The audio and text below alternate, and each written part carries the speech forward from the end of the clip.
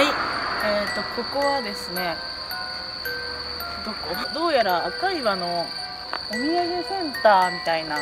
レトロな。レトロなお土産センターです。でなんかお友達がおるんやけどうちの。やばくない？これ。怖っ。でこの反対側にはいはい。ちょっと見えないけどあるんですよ何があるの？もうほら見て。ちょっと映像ではカメラでは捉えきれない。捉えてないんですけどちょっとあほんまだ。あ待って何あれ？やばいって何あれ？ちょっとちょっと行ってみようか。あの先ほどのお土産屋さんの多分駐車場にあるんですよこれが。え何これ？すごい。これいつの電車？結構昔の。ーすご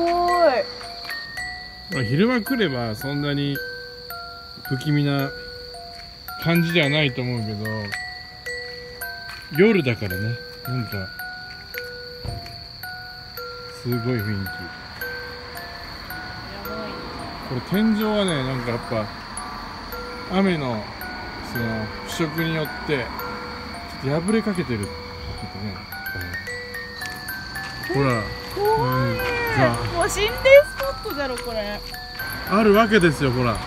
このね大仏様みたいなのがいて大仏様がこうやってピースをやってるその先に祠があるわけですよ。ちょっとね暗すぎてちゃんとした動画が撮れないんですけど。あのお賽銭を投げる箱があるんですよね。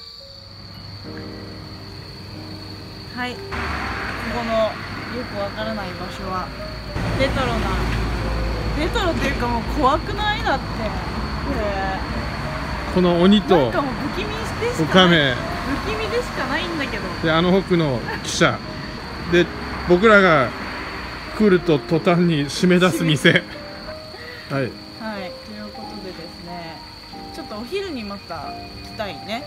そうだね、うん。ご飯美味しそうなやつあったし。そうそうそうそう。はい。そうまたちょっとリベンジしたいなと思うんですけどなんか暗すぎて怖いです。逆に心霊スポットみたいになってしまう。心霊スポットかと思った。はい。ありがとうございます。はい、ありがとうございました。はいバイバ